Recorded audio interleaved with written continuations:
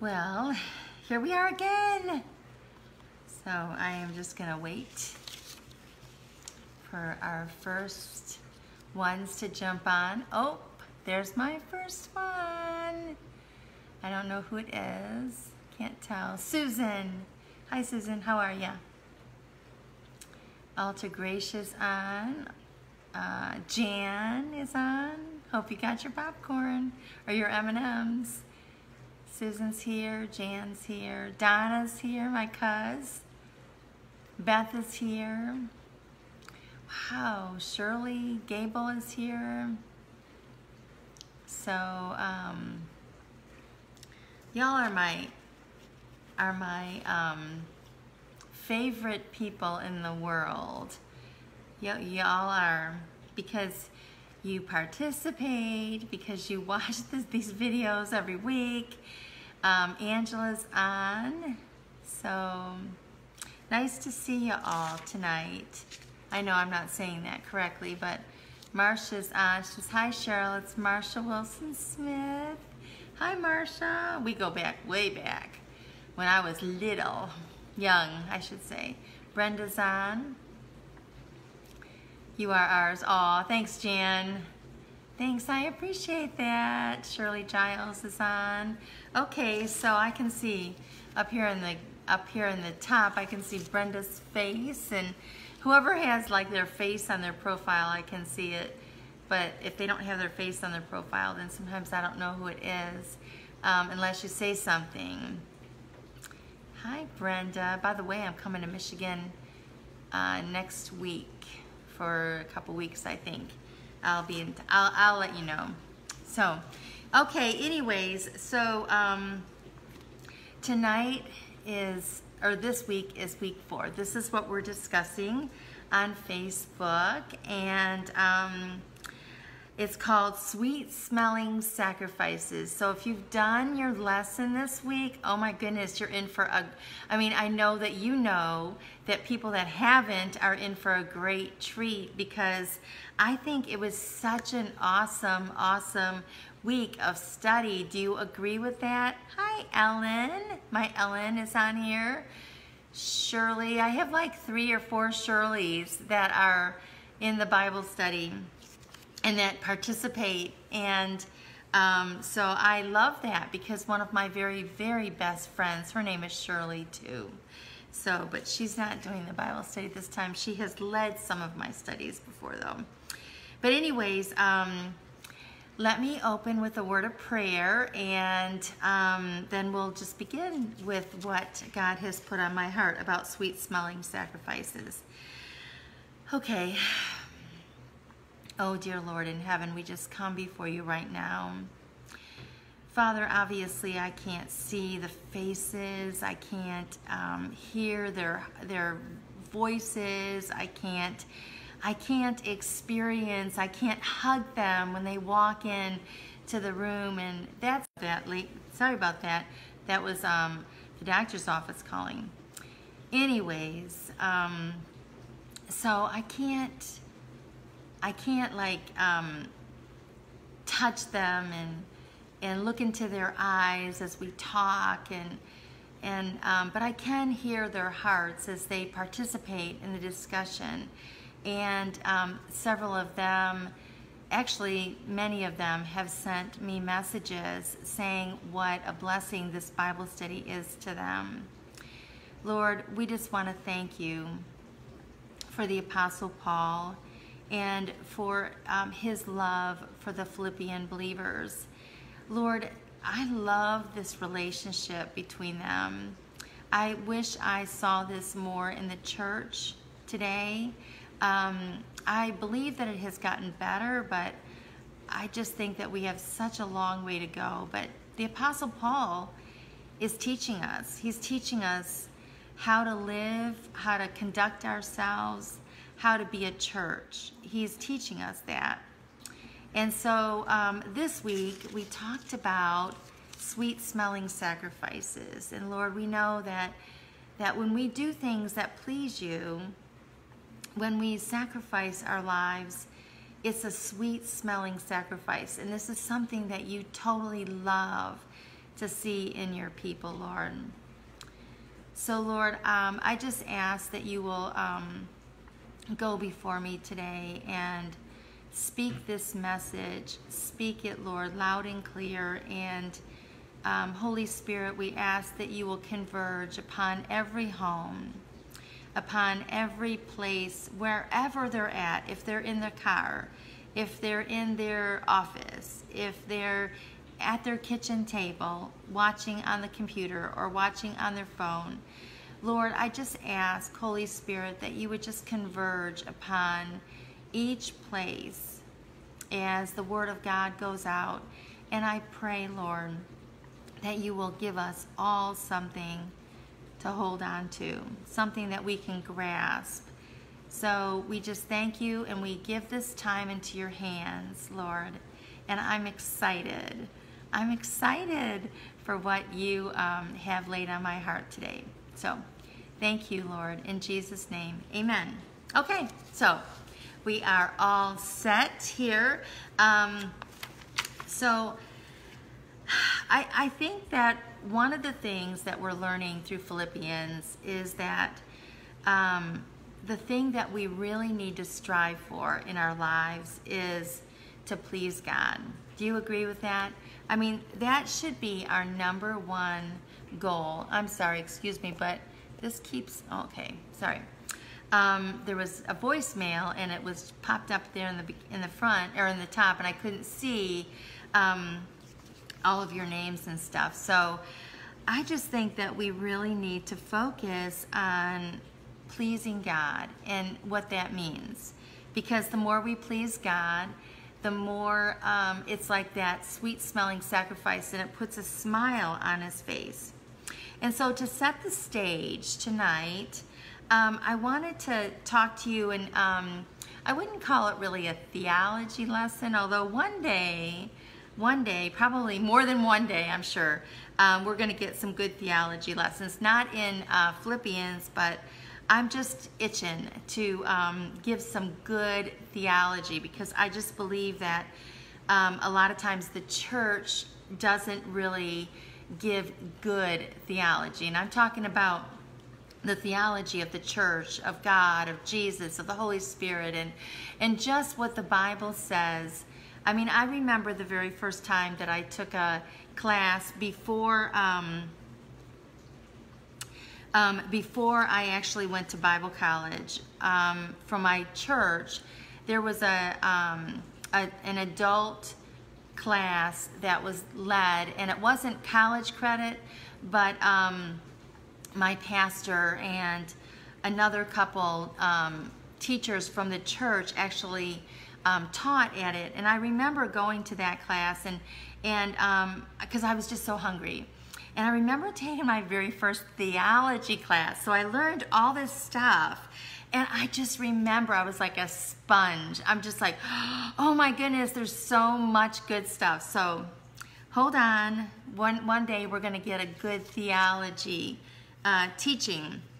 But I believe that to set the stage, we have to understand what Jesus did for us and um, what has been done for us in order for us to truly please God because we're not going to want to please him unless we truly understand and and I really do believe that as Christians a lot of times we really don't understand and um, maybe there's things about our Christianity that we're just kind of in the dark on. And I wish I could answer everybody's questions. And um, obviously, I don't know them all. But um, imagine being the, the Apostle Paul and writing his letters and learning this stuff for the very first time. I mean, I was just like in awe reading some of the passages that I'm going to read to you tonight. I was just in awe and and thinking to myself, "Oh my goodness, this is so brand new to him." And how he what he must have thought. Okay, well, anyways, that was just beside the point and I better get moving or we're not going to have enough time. So there's four words that I want to give you tonight to help you understand a little bit more about what Jesus has done for you. So the first word is this. acquittal. Acquittal. Now, you and I know that when someone is is um, is is in court, um, that if they're acquitted, that means that all of their um, crimes or whatever, or if there was no crimes, that they were expunged from their record.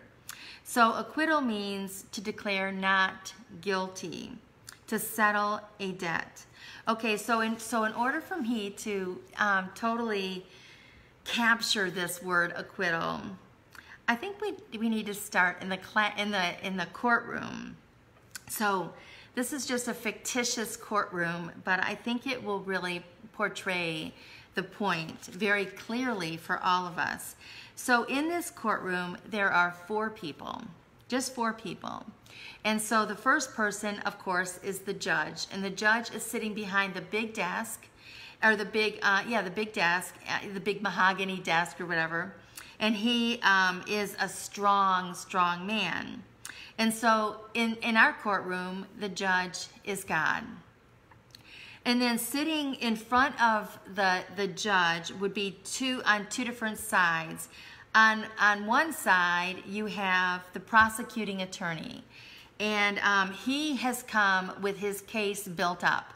And he is all ready to prove the person, the defendant, is um, guilty. And so the prosecutor is Satan, okay? And so on the other side of the courtroom, there's two people sitting at the table. The defendant, which is me or you, the defendant. So and then and then you have brought your defense attorney with you and that is Jesus. So in the courtroom, there's God, there's Satan, and on this side, there is you and Jesus sitting there. Okay, so God takes control of the session. And so he looks out at these people sitting there, and so he gives the floor to the prosecutor, to Satan. And so he says, Satan, you have you have so much time and I, I want you to state your case, okay? So Satan has come very well prepared. He stands before the court he stands there with his head held high, his chest out, and he just seems like he knows what he's doing, okay? He, so he says, Your Honor, I bring Cheryl before you today. I bring her before you today.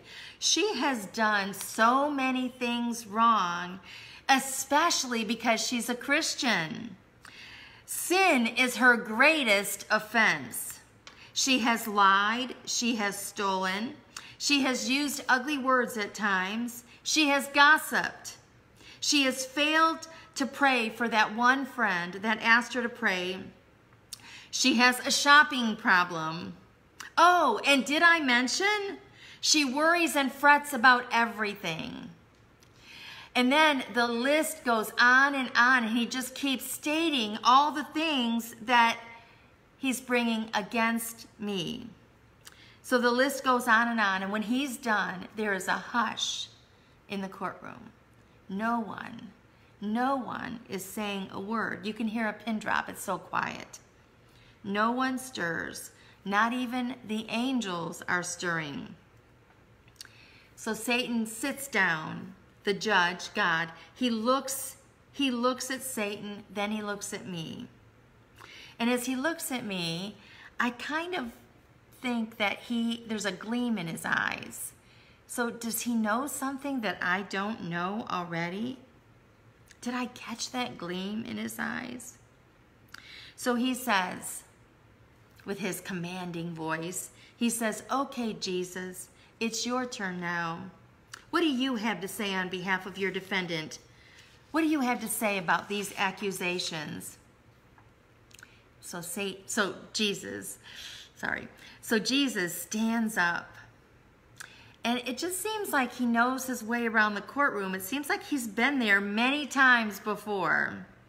He commands attention just by his presence. Everyone calms down. Everyone stops what they're doing. He puts a firm grip on my shoulders. Somehow I know that he is going to present a riveting case. And I just think to myself, oh, how glad I am that I have entrusted my life and my future into his hands. He walks towards the judge and he looks at the judge and then he turns around and he looks at me and he says, in his strong voice, he says, My client is not perfect. She has struggled to walk in obedience. I'll give you that. She has struggled to walk in obedience to your word. In fact, she has done some of those things that Satan has said, but many of those things, he has nothing, no, no proof of it. Yes, she has sinned. Absolutely. But, but, and he looks at the judge and he stands in the middle of the courtroom with just his presence and he says, But I offered my life for hers. I died for her freedom. My blood was shed so her sins could be expunged from her record. I paid her price in full. I paid it in full with my blood. Therefore, Your Honor, he says, I ask for leniency. I ask that you will not hold these offenses against her. She has asked for forgiveness. She knows she's been wrong. She's asked for forgiveness. Then he goes and he sits down. And then there's a quietness, a stillness again. What is God, what is the judge going to say to this? And then all of a sudden, the judge sits up straight and he takes his gavel on his desk and he pounds it on the desk. And he says, I find you, Cheryl, not guilty. You are free to go. You are free to go. That is what acquittal is all about. And that is you and I. That is you and I. I almost didn't make it either, Jan, through that. So the first, the first one is, is acquittal. Jesus paid for our price. He paid the price for us. The next one, the next word is this, reconciliation. And we find a good description of this in Colossians, if I can find it. Colossians chapter 1.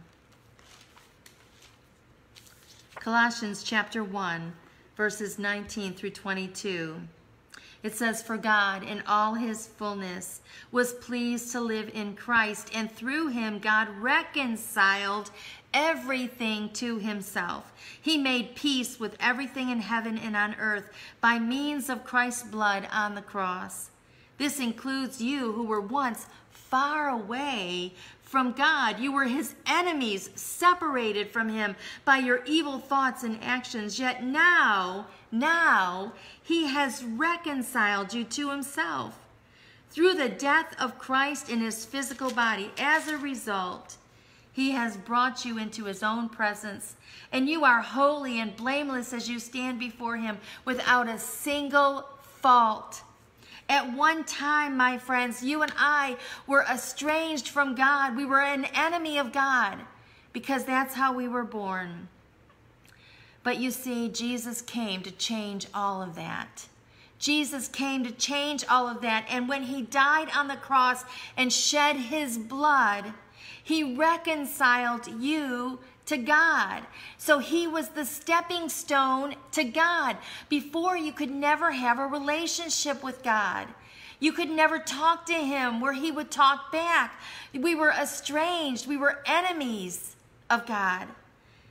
And through Jesus' death on the cross, he brought you into reconciliation with your God, the God of the universe.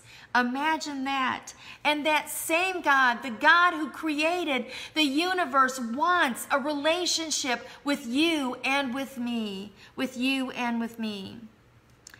So, acquittal, reconciliation, and the third word is victory. And along with victory comes the word overcomer. We can overcome anything the Bible says. Victory is a, now listen to this victory is a success or triumph over an enemy in battle. And you and I know who our enemy is, and we know what the battle is. And one day, one day, we are going to have complete, complete victory over him. Over him. Listen to what it says in Luke, in Luke chapter 10, verse 19. It says this But don't rejoice because evil spirits obey you. Oops, I am not in the right. Oh, wait. 1019.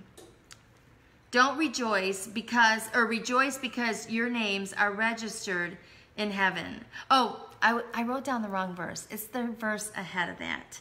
So, verse 19, I'm just going to start at verse 18. Yes, he told them, this is Jesus talking. I saw Satan fall from heaven like lightning. Look, I have given you authority over all the power of the enemy over all the power of the enemy. And you can walk among snakes and scorpions and crush them. Nothing will injure you. Now, literally, I would not want to walk among snakes and scorpions, the, the creepy crawlers that crawl along our ground. But that's not what he's talking about. He's talking about those enemies that come against us that are ready to attack us at any minute. We can have, we can overcome. And along with that thought, along with that thought comes Romans chapter 8. Romans chapter 8. You know this passage probably very well, but I want to read a few verses to you because this is one of my favorite passages in all of Scripture. Verse 31, I'm starting there. What shall we say about such wonderful things as these? And you'd have to read the passage ahead of that to figure out what he's talking about. If God is for us, who can ever ever be against us, since he did not spare even his own son, but gave him up for us all. Won't he also give us everything else? Who dares accuse us whom God has chosen for his own? No one. For God himself has given us right standing with himself.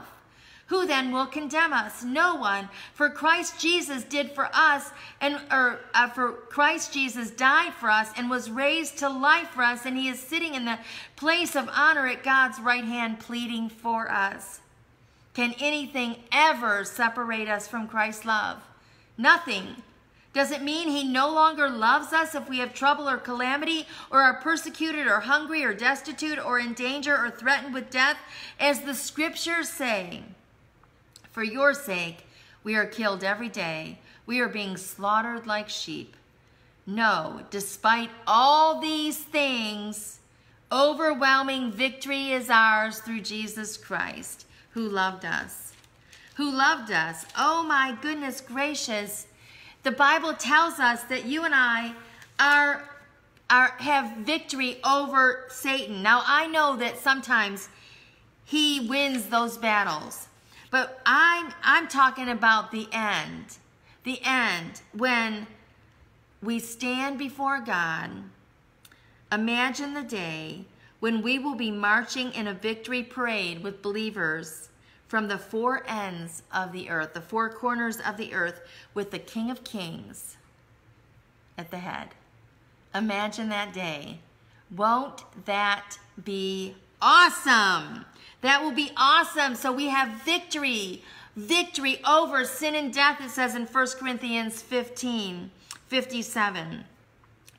So Jesus Christ acquitted us, he's reconciled us, and he's given us victory. And the fourth word is this righteous, which means right standing with God. Right standing with God. You know, we often think of ourselves as these imperfect beings and we often focus on our imperfections. But I want to tell you that through the cross of Jesus Christ, when you came to know Jesus Christ, that changed everything for God. He does not look at your imperfections. He sees you as holy and righteous because now you can stand before God and you are made right in His eyes.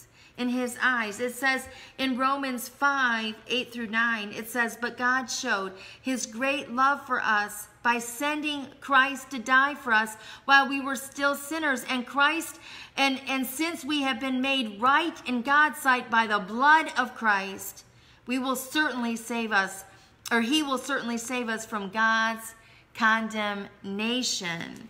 So we are made right.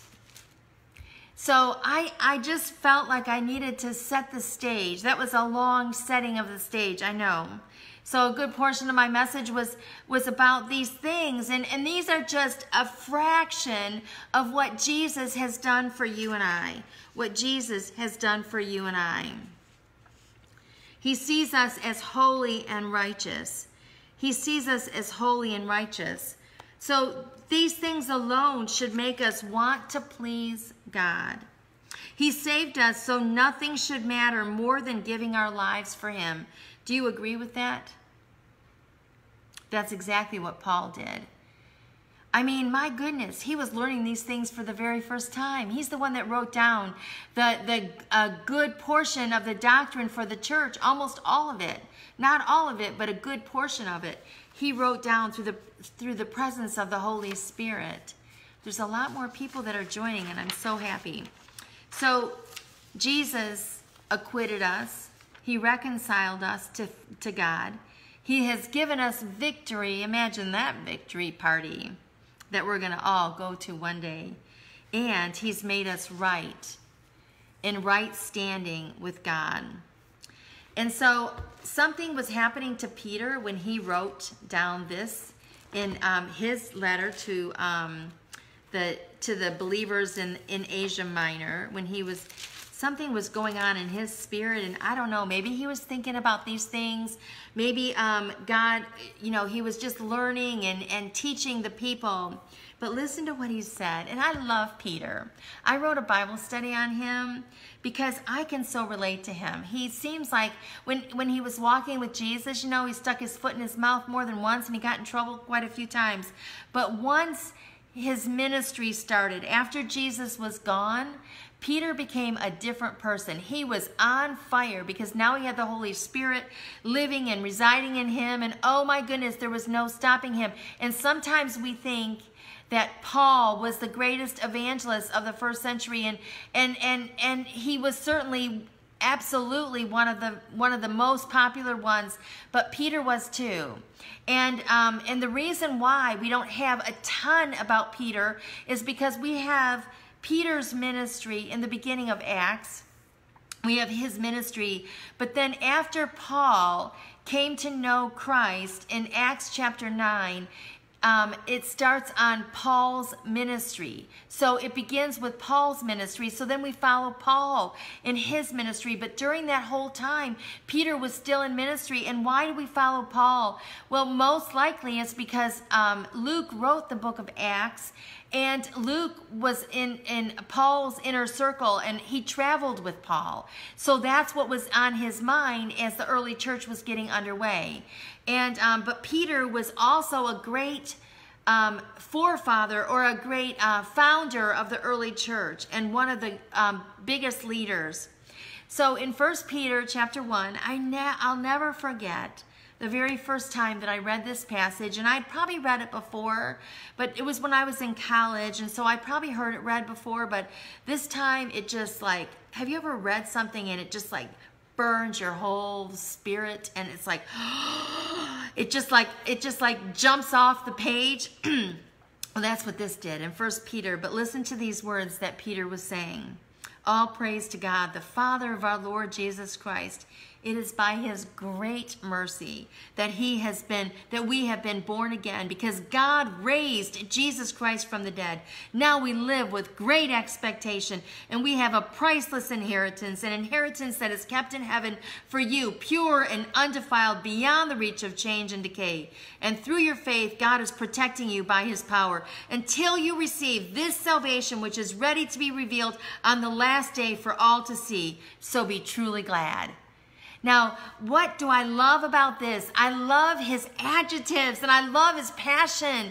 And so many of you have said, you know, that they appreciate my passion. Once I get going, I'm just like, there's no stopping me because I just get so excited about what I'm reading and about what I'm teaching and about what Jesus, what, what God, the Holy Spirit is teaching me through his word. But he uses great adjectives. So he said, It is by his great mercy, not just mercy, but great mercy. Now we live with great expectation, not just expectation, but great expectation. We have a priceless inheritance beyond the reach of change and decay. Can you imagine what was going through Peter's mind and, and his spirit when he was writing this down? I mean, I've had these kind of encounters with God that it's like, oh my goodness, and I just can't get enough. And, you know, obviously we have the computer and so we can type it really fast, but he had a little quill in his hand and, and he had to keep dipping it in the ink, you know, to write it. And, okay, Lord, I'm getting it, I'm getting it, but, you know, slow down a little bit. I don't know. Anyways, I'm just saying that he was so excited. And that's exactly what we need to do. We need to be excited like that because as Paul poured, because of his excitement and, and his and what he knew about what happened to him, he poured out his life as a sacrifice on the service of all the other people, of the believers all over the place. So Peter said it best. So, because of this, he says, be truly glad. So, I want to encourage you to seek to please him because that is what makes that sweet smelling sacrifice when we when we seek to please him and how do we do that? Well, there's two passages that I want to bring before you. Well, first of all, let me let me remind you that in the Old Testament when they had the sacrifice of the animal and they brought the animal and they laid the animal on the sacrifice and they they killed the animal and they they burned him up. That was a sweet smelling sacrifice to God. That was a sweet smelling sacrifice. And obviously, we don't have the same, we are not under the same sacrificial system as they were in the Old Testament because Jesus became the, the, the, the spotless lamb and he took the place of that sacrificial system. And so now we are underneath the new covenant.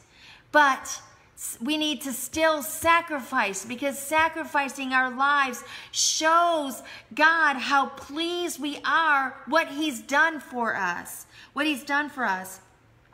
Listen to what it says in Romans chapter 12. You know these passages that I'm going to read before you right now, but I'm just going to um, just go through them just real quickly. Romans chapter 12, verse 1. And so, dear brothers and sisters, I plead with you, I urge you to give your bodies to God. In other words, sacrifice your bodies, or you could say your life to Him, because of all that He has done for you. Let them be a living and holy sacrifice, the kind He will find acceptable, the kind He will breathe in and go, Oh, that smells so good. Oh, and it puts a smile on his face, and that's what you and I want. We want to put a smile on his face. This is truly the way to worship him. Sometimes we think that the only way to worship him is on Sundays in church when we stand before him with all the congregation and we're singing these songs and we're praising and worshiping him. And yes, yes, yes, that is an awesome way to worship him. But I think that he looks at worship even, even in a totally different light. I think that he takes it further. And the sacrifices that we give for him is a way to worship him. So I believe that it's not just our bodies, because our bodies are human, they're flesh. I believe that what we need to do is what Paul did. We need to pour out our lives, our lives for God. Everything that we are should be all about God, should all be all about God. The last uh, passage that I wanted to bring before you is a familiar one to you too in Hebrews chapter 12. Listen to what it says. And this gives us an idea of how you and I can sacrifice our lives and bring great uh, pleasure to God in uh, Hebrews chapter 12, verse 1. Therefore, since we are surrounded by such a huge crowd of witnesses to the life of faith. Now he's the writer of Hebrews is writing this after he wrote Hebrews 11, which is the Hall of Faith Museum with all those incredible people and those those people that lived a life of faith. He now comes to chapter 12, and of course when he was writing it there was no chapters. They were divided up later down the road when they were canonizing the whole scriptures. He said, let us strip off every weight that slows us down, especially the sin that so easily trips us up, and let us run with endurance the race that God has set before us. Let us run with the weight. We do this by keeping our eyes on Jesus, the champion who initiates and perfects our faith. Because of the joy awaiting him, he endured the cross, disregarding the shame. Now he is seated in the place of honor beside God's throne. So the, the key piece of information right here is, as you know, we're in a race. We're in a race and we're running to the finish line. Absolutely. But the key piece of information here is, um, let us especially, or let us throw off every sin that trips us up. Let us throw off. So it is important that we try to remain holy and try to remain pure according to God's word. And so the things that God reveals to us, the things that we know are not wrong, that are not right, the things that are wrong, the sin and different things that we do in our lives, we need to throw those things off. Because you see, if we don't, we are going to be held back.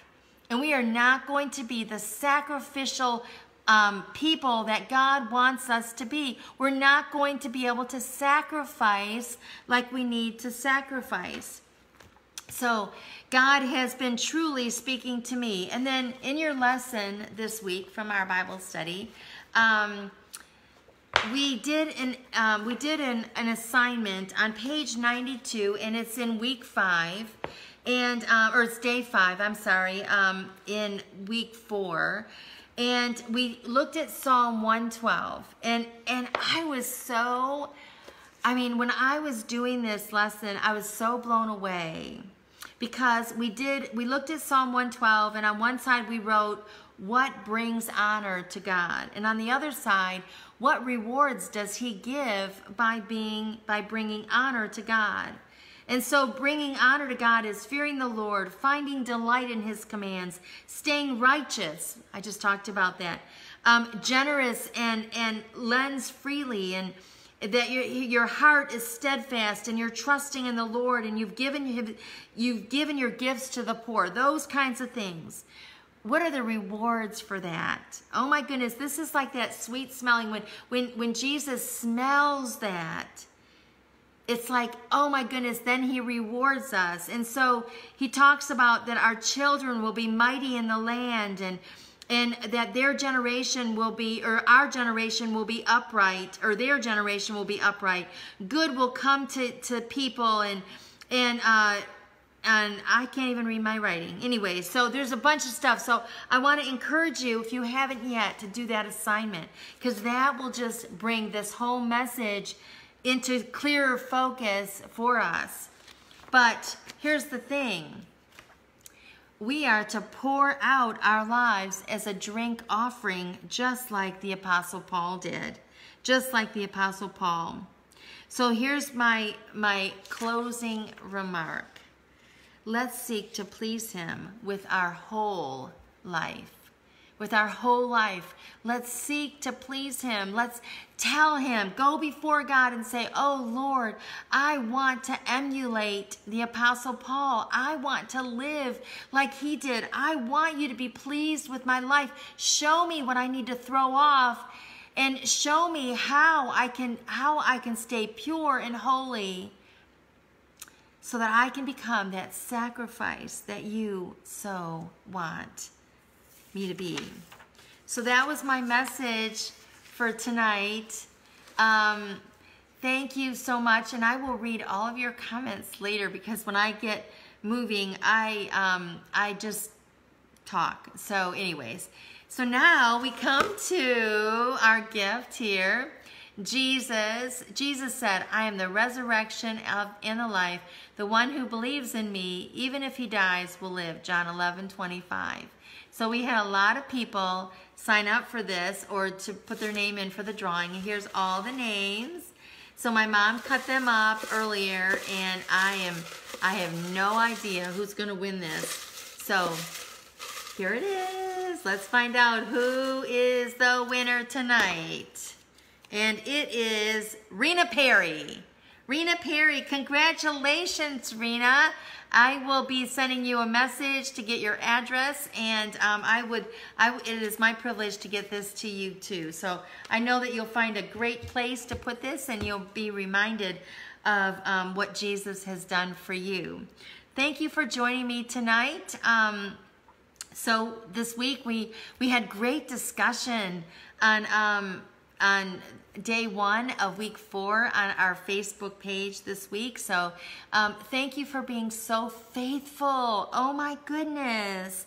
I am so blessed and um, I just, I'm just in awe of what's going on. And I love this Bible study and I'm hearing from you all that you do too. So if you're behind, you know, just Take your time, but catch up when you can. But make sure that you do catch up, even if it's after we're done. You'll be so glad you did. So thank you for joining me and have a blessed week and we'll see you online this week.